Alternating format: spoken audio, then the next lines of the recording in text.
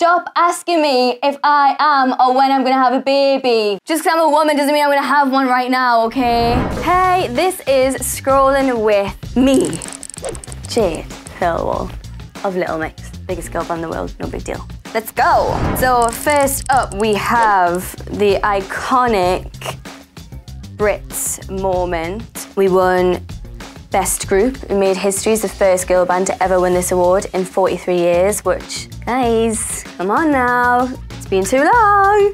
So yeah, obviously really, really proud of ourselves for getting this award, but it was a long time coming for girl bands in the history of the Brits. And that's why we gave them all a shout out uh, in our acceptance speech. So this award isn't just for us, it's for the Spice Girls, Sugababes, All Saints, Girls Aloud, the incredible, incredible female bands. This one's for you. This is me doing the Bus It challenge with my David Attenborough jumper on. I hope he doesn't mind. Hey! Now, actually, some people said I cheated because I held onto the bar, but um, don't care, so that's that. What's it? Oh my god. Oh, remember this phase? Don't you feel like in lockdown, like so many phases happened and just like came and went, like house party and stuff?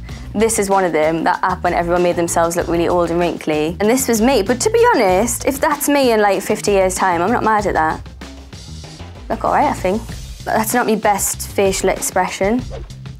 Next up, we have the TikTok of me getting my cast made for my prosthetics for the confetti music video where the three of us dressed as the male versions of ourselves. A lot of people looked at this and were like, oh, that looks so suffocating. But obviously I have the two holes where my nose is.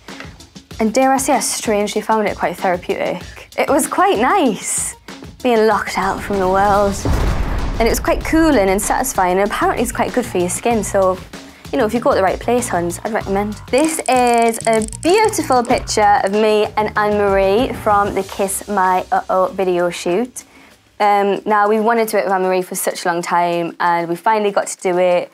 We adore her, she's amazing, and it was so fun on the day. Obviously, the girls were, bless them, really heavily pregnant. I think that was the last day of work for them. So they did the plane scene, and then they had to skedaddle. And so it was left to just me and Anne-Marie to drink all night and party. And that's what we did, and it was really fun. Love that video so much. Okay, next we have TikTok from the Love Sweet Love video. Me and the girls as sort of ethereal Mother Nature goddesses. We look stunning, if I don't say so myself. It was so nice wearing those major big crowns and the gowns and just giving it to the camera, serving it to you. Oh my God, remember when Leigh-Anne's Instagram was at Lee Love Life? That's very live, laugh, love, isn't it? ah, Lee Love Life. So this is me and Leigh-Anne uh, at a Halloween event, God, 2014. I mean, it says 1st November here because as usual, I'm always late to post. And this was me as Mystique from X-Men, but everyone just thought I was an avatar, so. Oh, this is from the 3rd of July, 2012, of me and Perrie with some really cool sunglasses on. You remember that phase when everyone was like wearing the craziest sunglasses? When like Kanye brought out them ones with the lions on and everyone had them and they were selling them like every market going. And then you also had like the Nicki Minaj ones, like the ski kind of vibes, and then obviously me with the pineapple pear. Oh, we look so cute here. So innocent and pure before the industry ruined us. Oh, this is from 2016. I posted this on Mother's Day of me and my mum on Sports Day. Look at me, I'm such a little nerd. You know, I've just realised this looks like, what's that meme of um, the cartoon when he has fists like that? Oh, they are. Oh, oh my god! Wearing the best as well. It's literally that meme, I can't. So this was me with my little circly glasses on. I've obviously, I've worn glasses all my life. And actually when I was little, I used to have to wear a pirate patch on my eye because I had a lazy eye. Which I, I thought was kind of cool because all my friends at school would like get a draw me pirate patch and so I didn't mind it. But on special occasions, I'd wear my glasses. And hence that day was sports day and I must have needed both eyes to, uh, to you know, do my thing.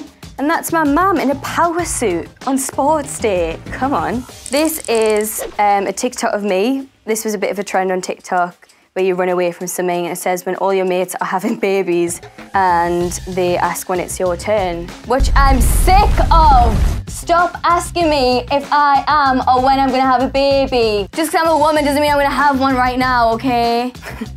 Sorry guys, don't kill me there. I get it, because obviously it's a natural question to ask, but we shouldn't always assume that that's to be the case. I'm very happy with where I am in my life, and I'm very happy with where the girls are in their life, and that's all there is to it. Ah, this was uh, August 2016 when we performed at the festival and we invited Craig David on stage, absolute legend. And yeah, I think, what did we do on stage? I think we did Fill Me In, which went down an absolute storm, obviously. And he is so lovely. And one memory I have of that day is him thanking us for bringing them on stage and giving us all a big giant bar of Galaxy chocolate each. I was like, oh, thanks, hun. And then I went straight home and melted it and had some strawberries. This was us when we met Selena Gomez at a dinner party. She looks like one of the group, actually. She fits in very well. So actually, this dress that I'm wearing on is a Alaïa dress. It was very expensive and I went into Harrods last minute looking for an outfit. And obviously I don't, sometimes I don't really look like a star, I suppose. I just like wearing tracksuits on a day off. And I went in and the staff was so horrible to me and really snobby that I felt I had to prove a point and buy a dress. And I just think it's a stupid thing to do. I've learnt my lesson since, but I was very much like pretty woman moment where I was like, actually, yeah, I can, I can buy one of them dresses. They're like, do you know who that designer is? I was like, yeah, yeah, I do. And so I bought it and I was like, oh. And I've never worn it since, so lesson learned there to not prove a point to everyone. Oh, 2015, this was a fan who put together a picture of me next to a picture of Princess Jasmine. And I adore Princess Jasmine. Um, as a young Arab girl, she was probably the only positive representation I had growing up, so she was always my favourite princess. Um, so anytime I get like into it is a win. Thank you so much for watching, guys. You've been scrolling with me, Jade Thirlwall for Heart. This is Heart.